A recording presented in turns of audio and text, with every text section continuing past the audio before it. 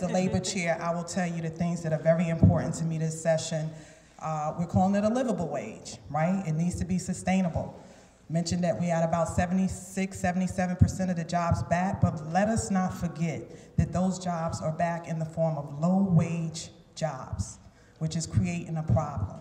People need to be able to go to work and make enough money on one job to sustain themselves and their families. So that's important. I think we need to keep that in mind when we bring forth this issue about minimum wage, livable wage, and how important that is to not just the economy, but to the well-being of families in the state of Connecticut. It was said earlier, we can do both. We can be business friendly and we can be family friendly. Because frankly, without families, we have no business. Um, the other thing that's very important, the pay equity, something that we've been working on for a while, bill that we introduced last year, passed in the House, died in the Senate. Um, we're bringing it back because frankly, we feel like we need to put the main artery back in that bill. And we, we need to make it more than a feel-good bill. It needs to be something that is gonna have an impact on the women who we are claiming to wanna help in this bill.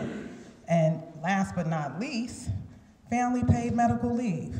And if you ask me, all of these things go hand in hand. You really can't have one without the other if we're talking about moving this state forward.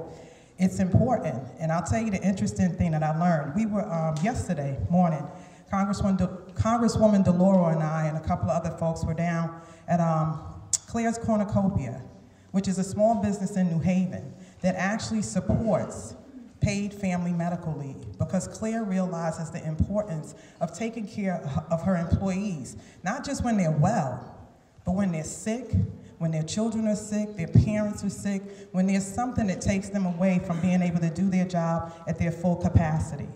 So when you think about it, the thing that I learned that was interesting in my plight to dig into this is that I found out that a corporation like McDonald's, who does business here, actually does business in Europe. And guess what? In Europe, they have to pay their employees paid time.